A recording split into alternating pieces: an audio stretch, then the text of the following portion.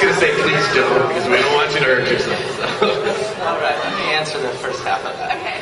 Um, it was uh, it was quite cold, um, and she got to. I mean, we did this scene where it was raining, and um, it wasn't really raining that day, or actually a little bit, but we needed it to rain harder, so we used this rain tower rain, which is straight from the wells. Is that true? It's cold to start with. It's so cold. So yeah, all I was wearing was uh, jean shorts. Um,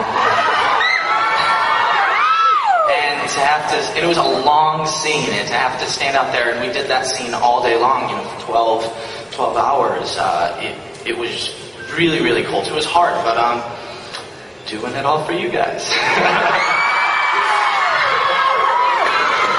Next question.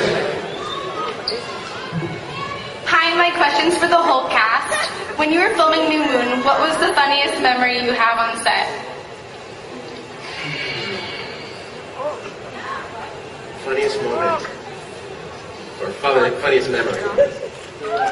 I, I think it was seeing me walk on set every day, pretending to be the director. With your stick? oh yeah. I, I grew I grew attached because we shot a lot of scenes in the forest to uh, to, to having a stick on hand, like kind of like Gandalf the wizard. Uh, under the assumption that that would give me an air of authority, which it absolutely didn't. Uh, I suppose that would be the most unintentionally funny moment.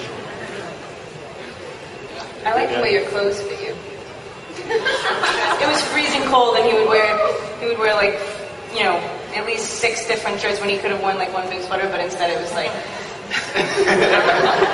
because I always had in the back of my mind. I always thought, you know, on the days when you know Taylor and Christopher in the rain, what I'll do like is I'll actually I'll to show fellow feeling I'll just wear a t-shirt or, or even you know just strip down. And then I saw them and I was like, screw that. Um, it's really cold, so give me some extra layers. Next question, please. Hi, my name is Deborah, and I was fortunate to be an extra on this set in Italy.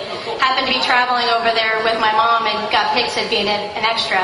But I wanted to find out from the cast members that were there, what was your favorite memory of filming in Italy? um,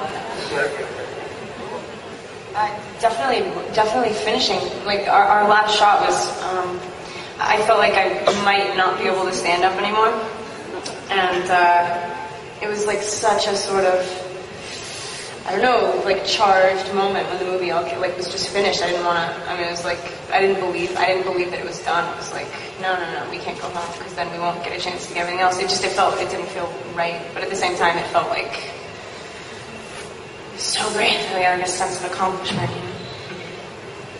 The set as well, Town Square. The, first, the first sight of that, it just looked so bizarrely and eerily similar to how I pictured it from the book and from the script. That, that was kind of astonishing as well. That was a good moment. Next question. Hey guys, I'm Aline, and my question, well, first of all, one of my legs is shorter than the other two. But um, my question for all of you is, what are you most looking forward to in the upcoming films? Um, I mean, I'm one very excited to be able to work with David Slade. I think it's going to be really fun to work with him. Um, but I'm I'm excited about this whole um, intense fight scene that we're supposed to have. I'm I'm excited for like the height of the love triangle. Um,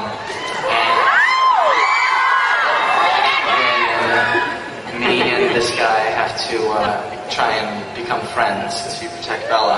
Uh, the bag scene. The bag scene.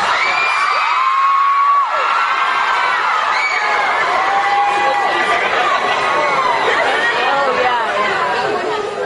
They're in. Anyone else? They're in the pool. and All right. I can't wait to uh, actually get pregnant.